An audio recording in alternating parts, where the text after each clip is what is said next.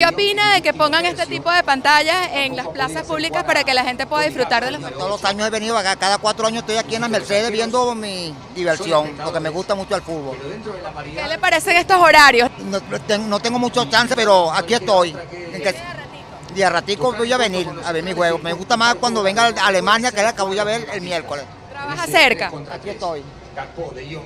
Ahí. ¿Cuál es su partido, eh, su equipo favorito? Alemania. Sí, sí, o sea, porque estaba cerca, estaba haciendo una diligencia cerca, entonces aproveché para ver el partido. ¿Qué opinas de, que po- de este tipo de iniciativas?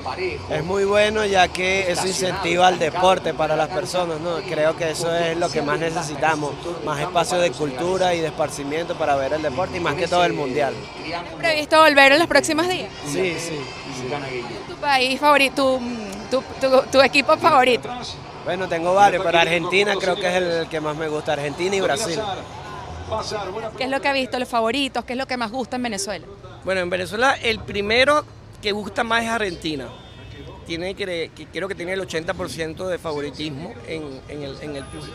Después cerquita está Brasil y después los equipos europeos. Por supuesto, el equipo europeo que tiene más fuerza ahorita, que está agarrando fuerza por Cristiano Ronaldo, es el equipo de Portugal. O sea que yo podría, aquí en las encuestas que hemos hecho aquí en el club, Portugal está de tercero y de está cuarto Inglaterra.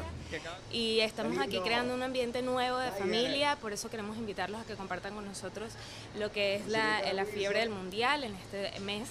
Vamos a estar 28 días activos con promociones en pizzas, promociones en café, nuestros cachitos con los sabores nuevos y bueno, los invitamos a todos para que vengan a disfrutar con nosotros en el Mundial 2022.